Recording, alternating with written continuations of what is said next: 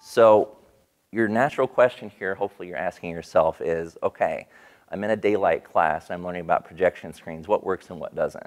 Well, we'll give you some advice.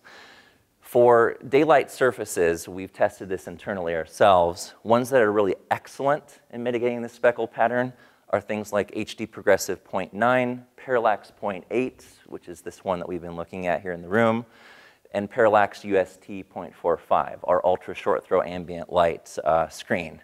Ones that are very good, HD progressive 0.6 and HD progressive 1.1. The difference between excellent and very good is maybe a sub subjective thing. Your eyes may see it, your eyes may not, but regardless, all the surfaces that we're showing here are able to be matched up with a laser projector without a problem. You will not encounter this speckle situation with these surfaces in your designs.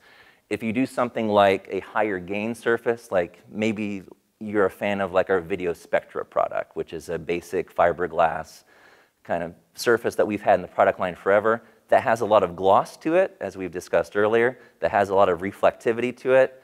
The more reflectivity you have in the surface, the worse the speckle pattern is which means that surface, if you try it on a laser projector, you're not going to have a great time. Your eyes are kind of, kind of going to go crazy a little bit looking at the speckle.